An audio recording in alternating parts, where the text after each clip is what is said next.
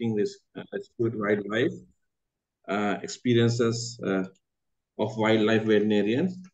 And this is the uh, eight, ninth webinar series, webinar conducted in the third international webinar series by Sri Lanka Veterinary Association. Thank you all of you allocating the time for joining this webinar. And also, especially I would like to thank today's resource person, Dr. Dinusha De Silva, wildlife veterinarian in the Department of Wildlife Conservation. She has more than seven years experience in the field and also uh, she's uh, treat more than 600 wildlife cases uh, per year, uh, ranging from the loris to wild elephants. And I think we will have very fruitful session today, uh, sharing her experience with, with her sharing experience. And also I would like to thank today's moderator, Dr. Tarindi Ka Prasadini, uh, for accepting the uh, accepting for moderating the session. And uh, she's also a lecturer in attached to the Veterinary Clinical Sciences, Faculty of Veterinary Medicine and Animal Science. Thank you, Dr. Tarindika, and floor is yours. Thank you.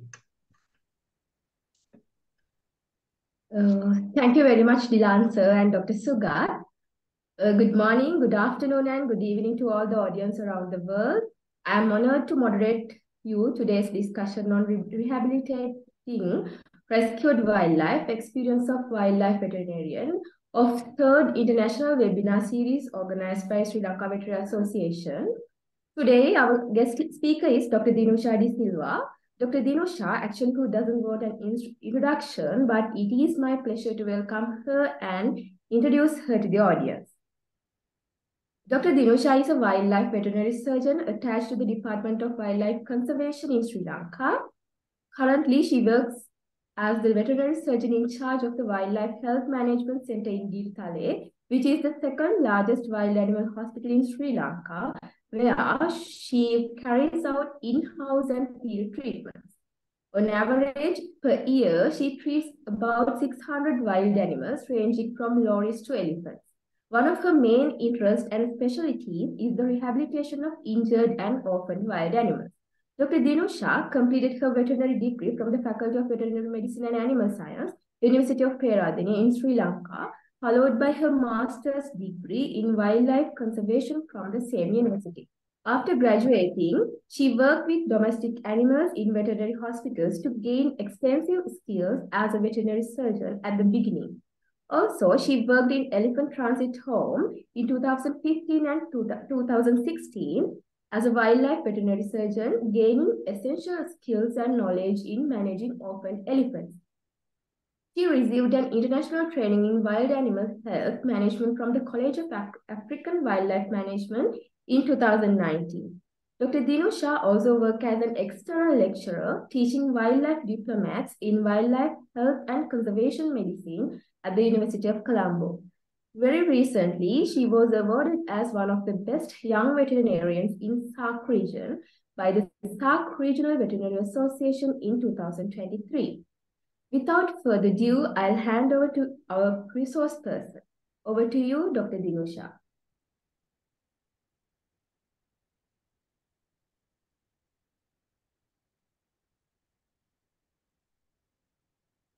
Dr. Dinusha? Uh, yes, Dr. Tarindi. Uh, good morning, good afternoon, and good evening to all my colleagues joining the webinar across the globe. And thank you, Dr. Tarindi, for your introduction. Uh, I am Dr. Dinusha. Uh, currently, I work as a wildlife veterinarian uh, in Department of Wildlife Conservation, Sri Lanka. Uh, I'm going to talk about rehabilitating rescued wildlife uh, of uh, from Sri Lankan perspectives. So uh, let me start my presentation. Hope you all my presentation and hope you all can hear, hear me clearly. So let's move. Yes, Dr. Nisha, we can see your screen as well as uh, your voice. We can hear your voice. Yes. Okay, Dr. Dilan, thank you. Uh, let me start my presentation by introducing the concept of wildlife rehabilitation. Uh, what is wildlife rehabilitation? Uh, it is the act of providing temporary care for sick, injured, or open wildlife. Uh, and we do not stop from there. The main goal is to release them back to their natural environment. Before we release them back, we make sure these rehabilitated animals will function like true wild animals.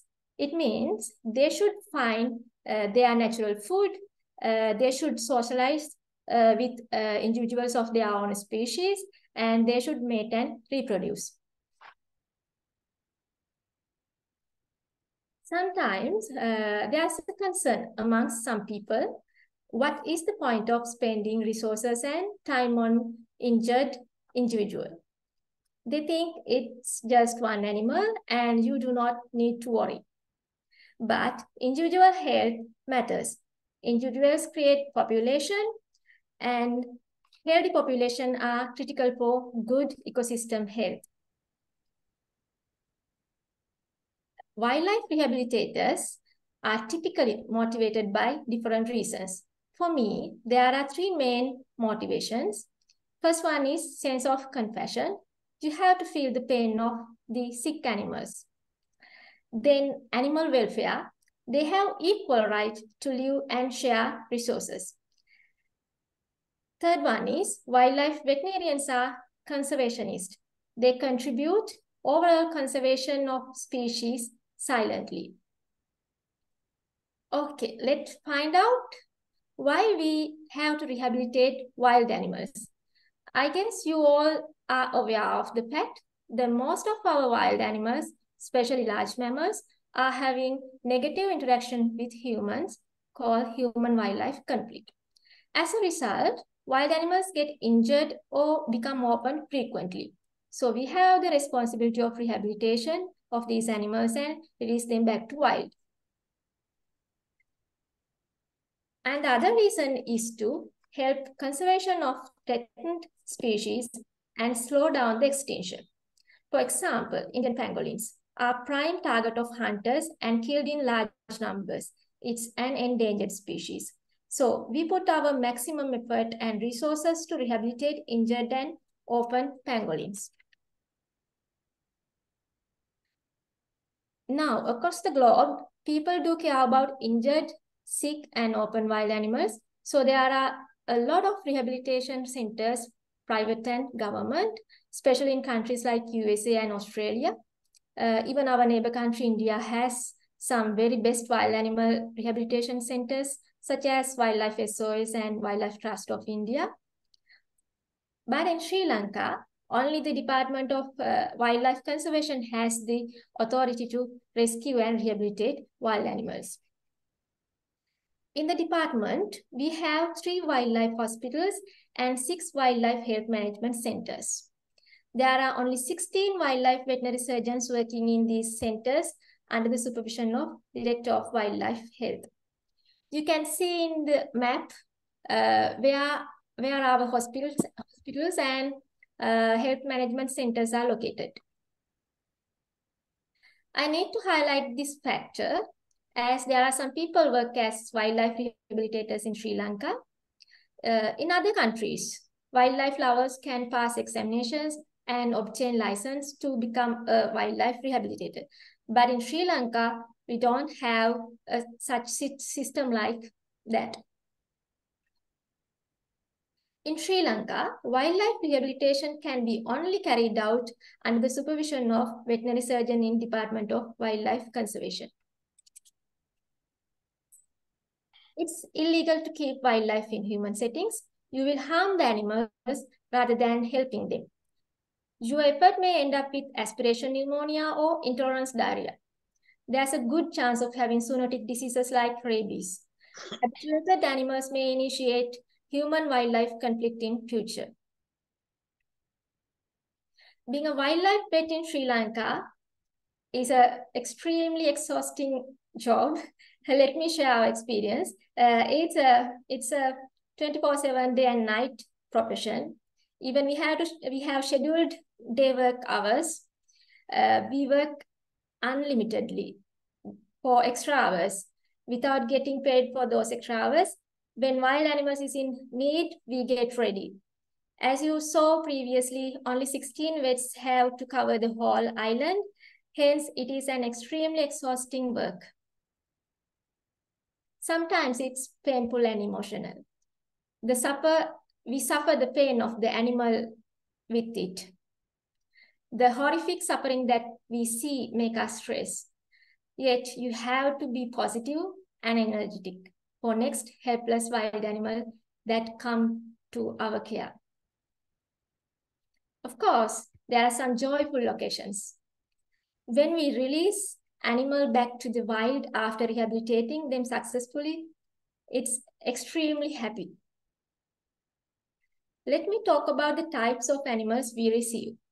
We get variety of animals from lorises to elephants because Sri Lanka has high biodiversity and hosts large number of wild animal species. Also, we get animals at different life stages, from infant to adult, as you can see in the pictures. Further, we received animals subjected to different causes such as sick, injured, and open. When should wild animal be brought to rehabilitation? We receive orphan infants, wounded or sick animals, and debilitated animals. When it comes to orphan animals, they should be truly orphaned because wild animals leave their youngsters along in the places while they are going out for foraging and hunting. When people spot them, they think youngsters are abandoned and try to bring, them to wildlife officers. When an animal is brought to our center, we immediately take measures to minimize the stress of the patient. We assess the potential of releasing back to wild after rehabilitation. I will explain this with examples in later slides. And also we need to make sure our patients are not a danger to ourselves. Uh, these are the most common causes of uh, admissions, spinal injury and head injury due to accidents, animal bites, fractures, mostly in birds, and orphan animals. Let's talk about triage. So what is triage? Triage is a system of sorting and prioritizing patients to maximize number of survivors. In here, survivors means who can be successfully released back to the wild. So how do we make triage decision in wildlife rehabilitation? It is different from human medicine. In human medicine, patients with worse injuries being treated first. Same procedure may be followed in pet animal practice. However, in wild animal treatments, least ill patient get priority and it gets treated first. This is called reverse triage. By doing this, we try to make sure we will use our limited resources meaningfully and increase the number of survivors. Further into concept of triage, do, why do we protect, uh, practice? Why do we practice uh, reverse triage? It's to uh, protect our limited resources uh, and because we have to manage our limited resources such as money, time, and human resources, and should get maximum of, out of it. The other main factor that we consider in decision making is the quality of life of the patient after treatment. What do you think about a wildlife patient who is going to live as a permanent disabled? As example, in this picture, you can see Asian open bill with complete limb fractures. In order to save its life, we have to amputate both legs. What do you think? I leave the question for you. But there are some exceptional cases such as rehabilitation of threatened individuals. We will make full effort to save them even though we know chance of success is less. Let's move on to uh, next slide. How do we approach wildlife cases? These involve five steps. As in normal practice, uh, first we take history. Uh, there we, uh, then we perform hands-off examination stage one. Uh, we call it in the box examination. Then hands-off examination uh, stage two, we call it out of the box examination. And then hands-on examination. It should be, uh, it should do quickly, uh, preferably, preferably within 15 to uh, 5 to 15 seconds uh, if the patient is not anesthetized. And uh, this is to minimize patient stress, uh, which could be fatal for the patient in uh, for the wildlife patients. Finally, we can decide whether we are going to treat, euthanize, or hand rear the patient. Taking history is the first step. Rarely we get detailed history about the case because wild animals don't have owners. Usually the collector would say orphan animal, unable to fly, unable to walk, uh, found from the ground, likewise.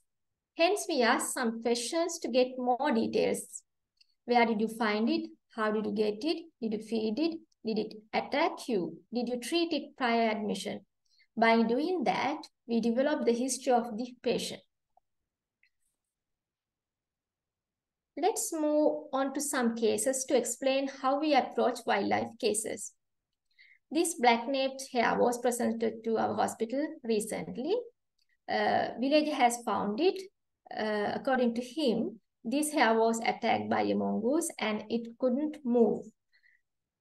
Rescuer did not feed the hare or no treatments done before admission to wildlife hospital. So that's the history of the case. So this is the hands of uh, examination, stage one, uh, in the box examination. We did not move, remove the animal from the box. We did not touch him and just performed visual examination. Here you can see stressed patient. You can clearly see uh, ear position of the hare. Uh, here you can see uh, abnormal hind limb position, hind right limb, you can see it's abnormal positioned. And here you can see uh, laceration wound around shoulder joint. So the next step is hand off, hands off examination stage two. So it we called uh, out of the box examination, uh, where we keep animal in an open area and observe its movement. So this juvenile hare did not move and tried to crouch in one place. Here you can clearly see the laceration uh, in uh, left shoulder joint. So then we did the hands-on examination and as you can see here, it revealed that there was an open fracture at tarsocrural joint. Uh, so, uh, now it's time to decision making. We ask these questions. Can we fix the fracture? Would amputation be a good solution? Can it gain its natural behavior after treatments? Are we going to use available limited resources on this animal, knowing the fact that we can't release it back to the wild? You know, hares need strong limb, limbs to run fast and avoid predator pressure in wild. So hare with weak limbs would not survive in the wild. Are we going to use available limited resources? So what do you think? treat or euthanasia. What's your opinion? So this is the second case which I selected. It is an adult Shaheen falcon. So let's check its history. Uh, according to the wildlife officers who found, uh, it was on the ground and unable to fly. Uh, no visible wounds noticed but some sort of abnormality in the right wing. They tried to release it back, but the bird didn't move. It was not feed. Uh, they had applied uh, some Ayurvedic balm on the abnormal wing, it means right wing. So that's the history.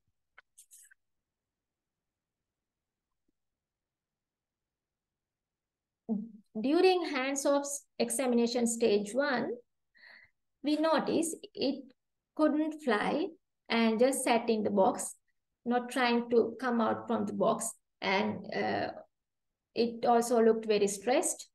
Uh, during the hands-off examination, stage two, out of the box examination, uh, tried to fly out but could not take off. Uh, the, the right wing had less range of motion than the left one, did not open the right wing as much as it opened the left wing. So during hands-off examination, here you can see, uh, you can compare left shoulder area and uh, right shoulder area. Here in the uh, right side, you can see feathers look uh, messy. Also, the tip of the last primary feathers of right wing were damaged, indicating abnormal position of the wing. Next step is diagnosis. With a radiograph, it will be very easy. But in my center, we don't have an X-ray machine. When necessary, we have to collect portable machine from Colombo, but it would take a couple of days. Can't we diagnose without a radiograph? So that's what we did. Here we managed to palpate the abnormal right wing and uh, these are my findings. Uh, right shoulder joint was edematous, warm, no crepitation, painful for the bird when touching. There's no visible soft tissue damage.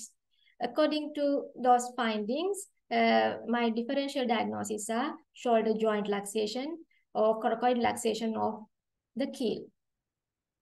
So with this diagnosis information, I deci decided to proceed with the treatment as Shaheen falcon is a scarce resident bird and they are found in restricted areas in Sri Lanka.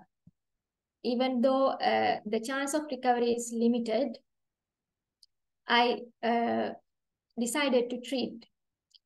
After first stage treatment, we have to do uh, lots of physiotherapy, uh, and there's a risk of having uh, arthritis in future, and uh, sometimes risk of having reduced motion range of right wing, which will not allow you to release it back to wild. So this is uh, this is the treatment we did. We applied wing bandage to uh, restrict the movements of damaged wing. Uh, these are the medications I'm using currently, ketoprofen uh, for first three days, and clindamycin is continuing up to uh, 14 days. He's still under our care. Uh, so our next next case is a juvenile Asian elephant. Uh, it was about uh, three months old, female calf found from Welikanda area of Polonnaruwa. Uh, we named her as Nikini.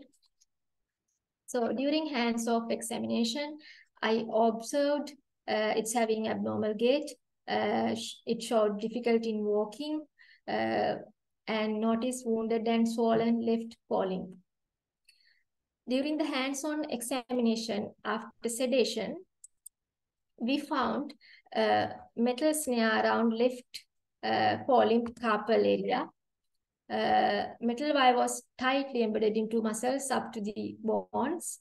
Uh, severe infected wound and uh, wound size uh, is uh, length is about 15 centimeters width, width is about 5 centimeters and uh, depth is about 5.5 centimeters. Uh, poor weight bearing of uh, left forelimb uh, and abnormal gait also observed. So we decided to treat this juvenile elephant uh, but uh, there are some limiting factors. Uh, to clean such deep wound, we have to uh, sedate uh, the animal. But is it possible to sedate the, this kind of juvenile animal daily for wound cleaning? you all know it's not a possible thing. As a result, I decided to take different pathway to treat this pa patient a low-cost, non-invasive, uh, natural remedy, Kaila Phyllanthus reticulatus. Uh, hope our Indian colleagues are more familiar with this plant uh, since uh, is used in India to treat even for human wounds. Uh, Kaila has following properties, uh, analgesic, anti-inflammatory, edema inhibition, and hypertonic. It enhances debridement, absorption, and protection, give protection against microbial proliferation. So instead of sedating this baby elephant daily, we treated this elephant with uh, paste. So uh, this is how we prepared Kaila paste. It's very uh, low cost and simple method. We used uh, about five, uh, 500 grams of Kaila leaves and 200 milliliters of water and uh, ground it using simple kitchen uh, grinder to make a smooth paste. And uh, we can store uh, prepared paste up to four days in refrigerator.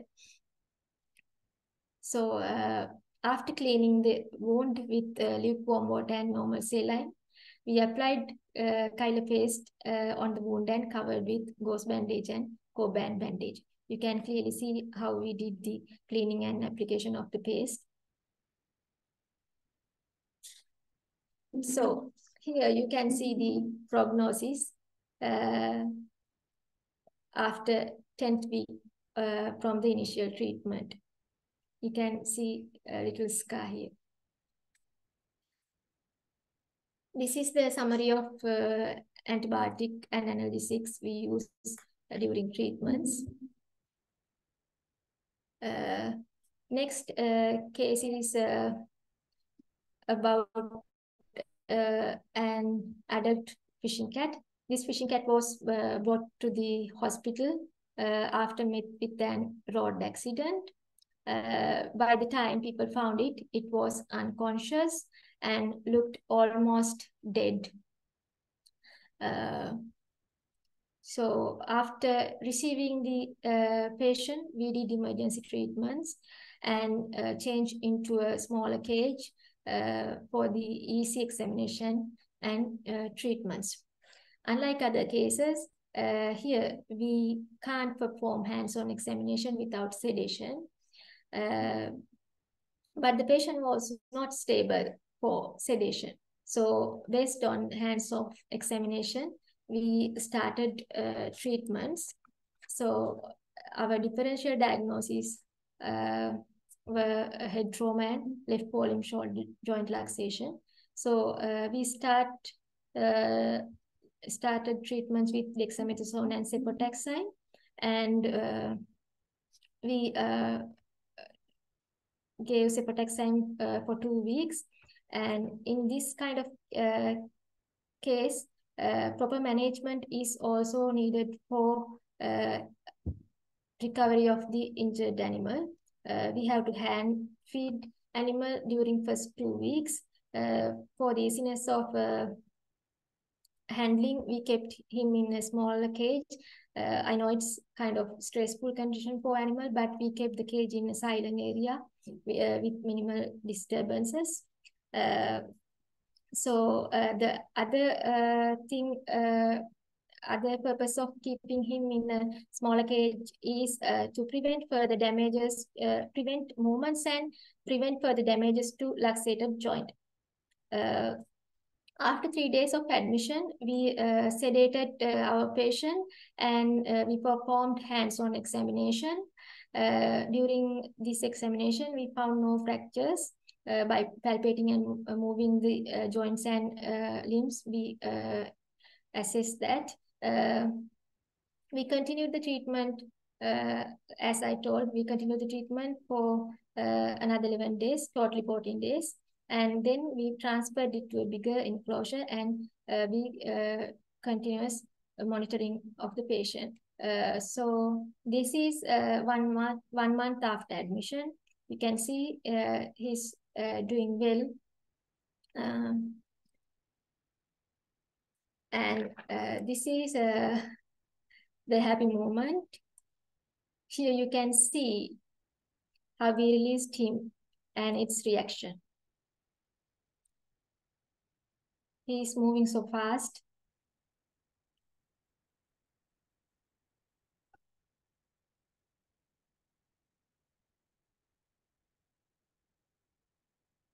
So uh, I guess you saw in the video how it showed its natural behavior, uh, natural fear to human. That is something we try to maintain during our rehabilitation process. Uh, we actually released him to same area where he uh, was found injured. Uh, since it's a male animal, he has a territory so we thought it's better to release him back to the, his original location. Uh, this is my final case. Uh, it is uh, an orphan fishing cat kitten. Uh, a villager found this orphan fishing cat kitten. This person actually uh, tried to find its mother, but no signs of the mom. So he handed over the kitten to the DWC officers uh, it was not fed before the admission. Uh, when I did hands-off examination, I found it was active but stressed as it was seeking its mother. During hands-on examination, uh, I uh, found that uh, the juvenile kitten was dehydrated uh, and we didn't find any external parasites. There's no wounds incisor teeth erupted. Uh, so we guess uh, he was about one month old and it's a, a male kitten. Uh, hence, uh, it's an endangered species and it has a high chance of getting released back to the wild. After rehabilitation, we started to hand rear it. So um, we fed uh, it with uh, milk, but uh, not not like this. We didn't have appropriate milk replacers like species-specific milk replacers. Uh, so we use uh, locally available kitten milk replacers, and sometimes we use uh, sterilized fresh cow milk. preferably, I use Ambewela brand because it gave uh, it it has given us a good results. Uh, so for that fresh milk, we add uh, supplements uh, like calcium and vitamins, and uh, we add boiled chicken breast uh, after grinding to the fine pieces. so that's how we overcome the challenge, and I'm happy to say that it gave us very good results when it uh, comes to providing nursery care, uh, we have to provide proper heating because when they are with their mother, uh, they get uh, very good maternal care, warmth and protection. So we have to give uh, such ex that experience to the kitten. Uh, he should feel the maternal care somehow, maybe not up, surely not up to the natural level, but we should take care to give as much as possible care to uh, make him uh, feel better. Uh, and we have to provide uh, appropriate beddings. Uh, we have to make sure cleanliness at top level because you all know uh, when it comes to even domestic cats, they love to be in a clean environment. It makes them comfortable. So uh, also we uh, normally quarantine all the new kitten admissions to prevent contagious diseases such as uh, feline leukemia virus. Uh, and we limit uh, human contact to prevent uh, the kitten getting habituated to humans. we normally we assign one person to carry out feeding and cleaning. So kitten was dewormed using pyrantel pamoate. During the rehabilitation process, we change uh, its enclosures according to its growth. Uh, soon after weaning, it was uh, transferred to stage 2 cage. Uh, as you can see uh, in the picture, uh, it is not completely open cage. There we can familiarize the kitten to outside environment gradually. Uh, then it was transferred into a much bigger enclosure to gain full natural behavior. Uh, it spent its sub-adult stage and early adulthood in that enclosure. uh, we enrich the enclosure according to their natural habitats. Here you can see a, a pond uh, because fishing cats are uh, uh, always living near in marshes and uh, water bodies. So uh, accordingly, we enrich its cage. When it comes to releasing stage, we consider following factors. size and the age of animal, and whether the animal shows a range of its natural behavior, especially whether they have developed uh, fear on human and we need to make sure that rehabilitated animal can identify their natural food. Uh, body condition should be uh, ideal. Uh, and uh,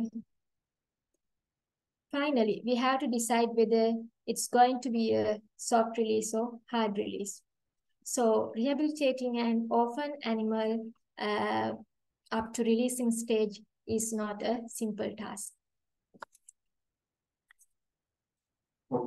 Now, uh, I want to draw your attention to the challenges I am facing uh, while working on wildlife rehabilitation. Uh, as uh, I mentioned previously, we have limited uh, staff, especially dedicated, skilled and trained staff are limited in our places. And lack of equipments. Uh, we don't have some sophisticated equipments, but it doesn't mean that uh, we are not uh, functioning without those. We are doing our best. Uh, you, I think you can remember without the without X-ray machine, we uh, perform our diagnosis. How we performed our diagnosis. So uh, the other thing is uh, it's dif difficult in finding relevant milk replacers and feeds in local market. But always we try to make things using available resources. And uh, for hand rearing, still uh, we don't have proper nursery, nursery unit.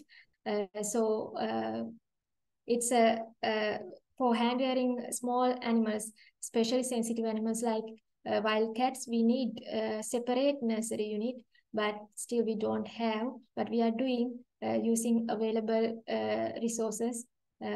So, and the other thing is we don't have suitable vehicle for transporting animals.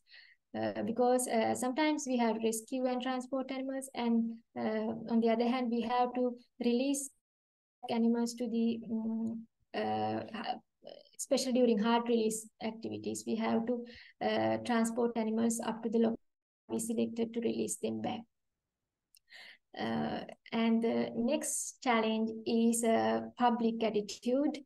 Uh, most of them think the rehabilitation centers are animal display, display places. So we receive plenty of requests for observation visits. visits. Um, however, uh, most of them understand after we explain the situation. So uh, before wrapping up my presentation, I have mentioned here some drugs only using for wild animals. There are many more, but here I am uh, mentioning uh, drugs I am using more commonly. Uh, so you can have a look. Uh, drugs for raptors and hares and rabbits and for deer species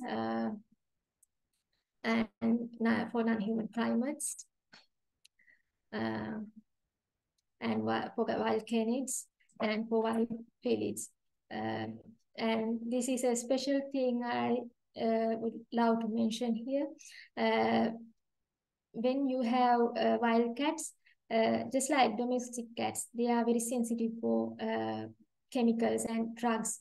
So when they have ectoparasitic infestations, there are no option for us to uh, use as uh, parasiticide. So uh, always this combination, uh, ivermectin diluted in normal water, uh, gave us best result, not even in uh, wild cats, uh, even in uh, juvenile wild elephants uh, and all the other species, even birds, it gave best result.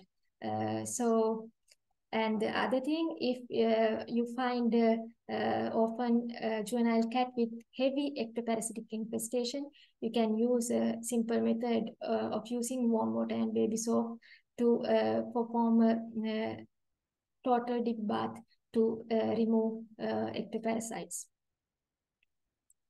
Uh, so with that, I'm going to conclude my presentation.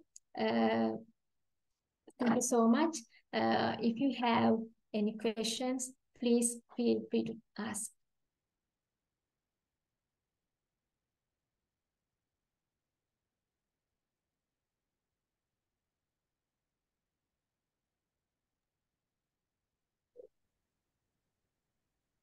Uh, thank you very much, Dr. Dinusha, for your informative talk. It contained lots of valuable information and now the discussion is open for questions from the audience. If you have any questions, you can simply put the chat box and I will direct them to Dr. Dinusha or else you can directly ask by hand raising hand. Uh, then we can accommodate you as well. Uh, we have got our first question from Madam Indira.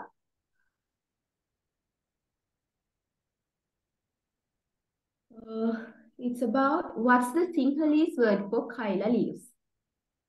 Uh, it's the actually, madam, it's the Sinhala name. We call it Kaila. Uh, it uh, we can find it uh, around the water bodies in uh, uh, dry zone area. Especially, it considered as an invasive plant. here in Cowdenna National Park, they even try to remove the Kaila plants due to the invasive nature of the plant. The Kaila is the Sinhala name for that plant. Uh, is that the plant that is overgrown at uh, Udawatta uh, I'm sure, uh, but uh, I have seen it uh, near the Mahaweli River bank. It always uh, uh, appear adjacent to water bodies, just like tank beds adjacent to. Oh, okay. Yeah. So thank you for the very nice presentation. Thank you. Our next question is from Dr. Arundhati. What is the chemical used to parasitic bath? how long you keep the animal in that bath? Uh, here, the uh, chemical means we use just simple baby soap, any kind of baby soap, uh, so and warm water. So you can uh, dip the animal in the water and then uh, you can just, uh, using a comb, you can comb the hair. So it maybe take 10 to 20 minutes to, uh, if the burden is heavy, it will take more time, but within 10 to 20 minutes, you can achieve the desired result. Uh, thank you, Dr. Dinusha. Uh, the next question is from Dr. Ijaz. He's asking about the difference between hard and soft release uh, in soft release, uh, we release animal from the uh, uh from the location where its uh, enclosure is situated. But in hard release, we transport animal to a places uh, to a place where we decided it is best to release. It is maybe a national park maybe a protected area, but it's unfamiliar to the animal. But in soft release, the area is familiar for the animal. So we prefer soft releases, but with the limited factors, sometimes we have to do uh, hard release. Dinusha, do you uh, monitor their uh, survival or their ability to get adjusted after your release? Yes, madam. Good question. Sometimes people tend to put uh, collars, uh, VHF and GPS collars, but uh, with small cats, I'm not. Uh, uh, I'm. Uh, I don't like to put collars because they have very less body weight. So maybe the hmm. collar will appear a little harassment for that kind of uh, small wildcats. Uh, for in that sense, I'm using as uh, camera traps to monitor animals by okay. using yeah. Okay, so uh, wildlife um, department, what's the opinion of uh, using uh, chips subdermal? For uh, elephants, they have used chips, but with the uh, intradermal chips, uh, you only can uh, identify animal when animal is uh, in your uh, mm, uh, your care. Oh, really? yeah.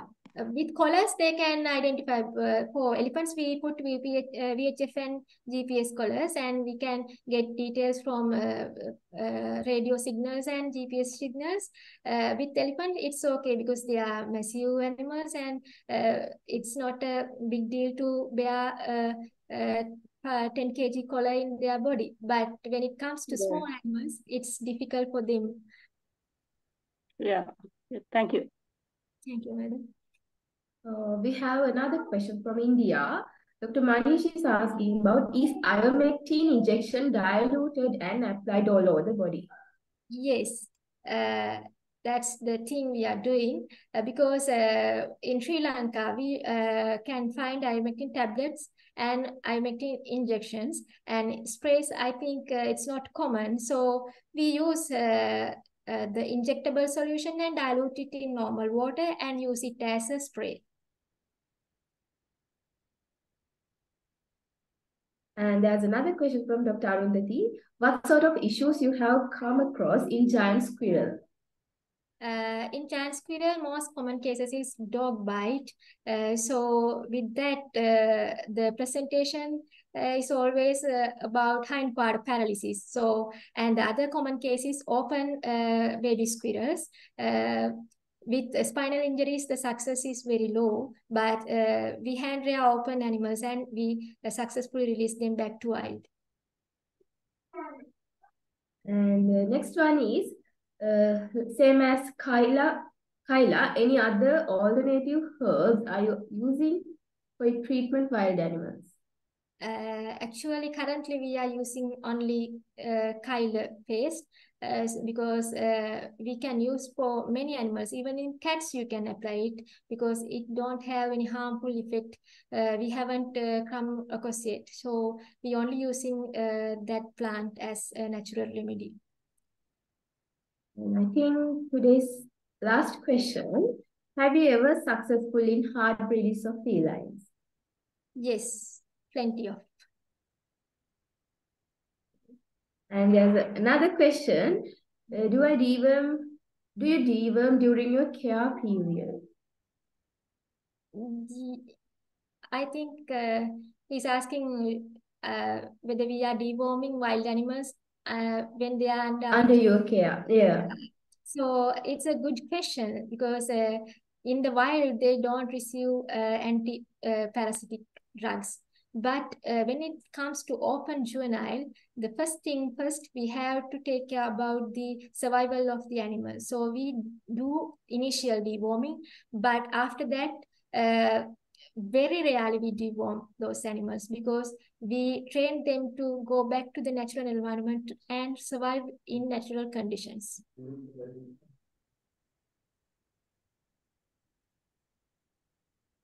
Mm. Yeah, I think uh, that's the last question.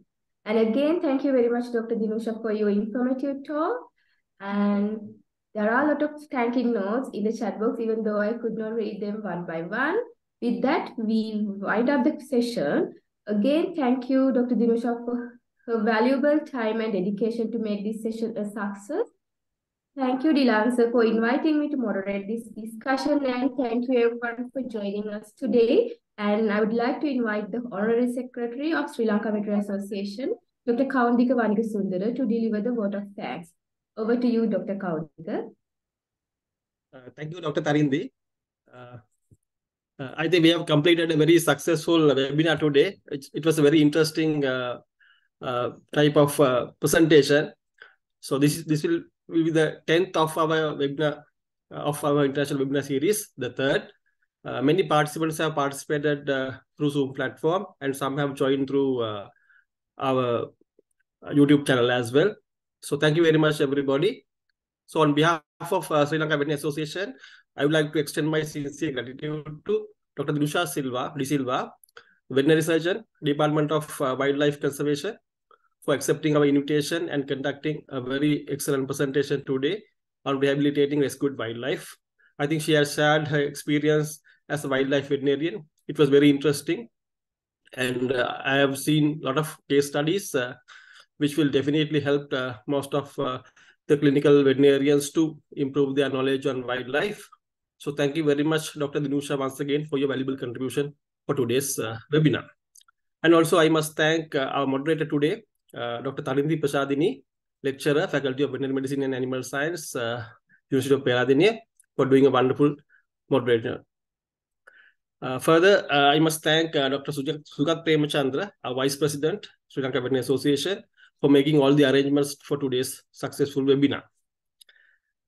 Last but not least, I must thank all the participants who have joined today from around the country and also overseas and actively participated despite of their busy schedules. So thank you very much everybody for participating today's webinar.